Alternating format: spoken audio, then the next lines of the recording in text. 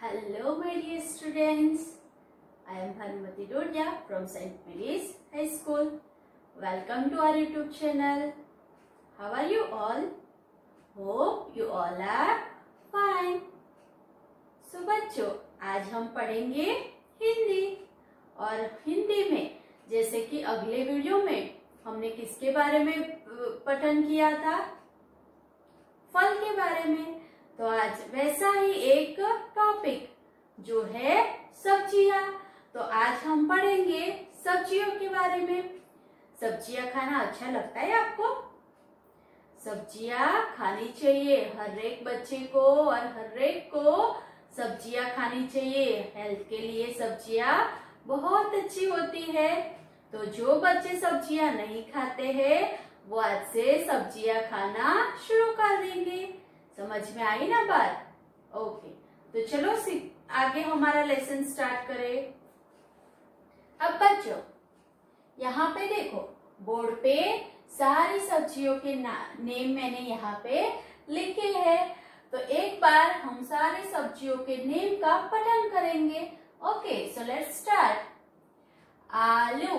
आलू को हम इंग्लिश में बोलते हैं पटेटो नेक्स्ट गाजर। गाजर को हम इंग्लिश में बोलते हैं कैरेट। शलगम। शलगम को हम इंग्लिश में बोलते हैं टर्नप टमाटर। टमाटर को हम इंग्लिश में बोलते हैं टोमेटो। भिंडी। भिंडी को हम इंग्लिश में बोलते हैं लेडी फिंगर। बैंगन। बैंगन को हम इंग्लिश में बोलेंगे ब्रिंजल पत्ता गोभी पत्ता गोभी को हम इंग्लिश में बोलेंगे कैबेज लौकी। लौकी को हम इंग्लिश में बोलेंगे बॉटल गोट कद्दू।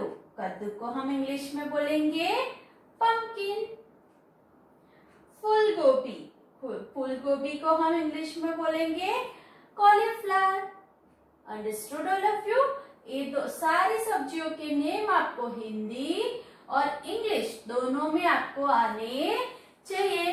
अब आपकी टेक्स्ट बुक में आप देखोगे तो वहाँ पे आपको ऑलरेडी सारी सब्जियों के नेम पिक्चर के साथ दिखाए हुए है।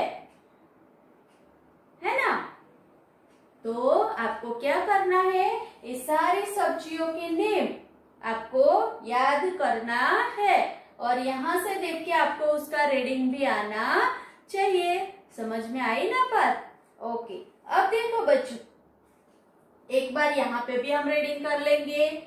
आलू, गाजर, शलगम, टमाटर, भिंडी, बैंगन, कद्दू, पत्ता गोभी, लौकी फूल गोभी ओके, नाउ, यहाँ पे आप देखोगे, आपको एक एक्टिविटी दी हुई है।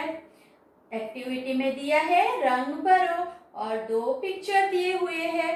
तो आपको क्या करना है? सिर्फ़ ये दोनों पिक्चर में यहाँ से देख के आपको रंग भरने हैं। समझ में आई ना बात? ओके, अब बच्चों, मैं आपको सारी सब्जियों की पिक्चर दिखाऊँगी और आपको वो पिक्चर देख के सिर्फ़ उसका नेम बोलना है।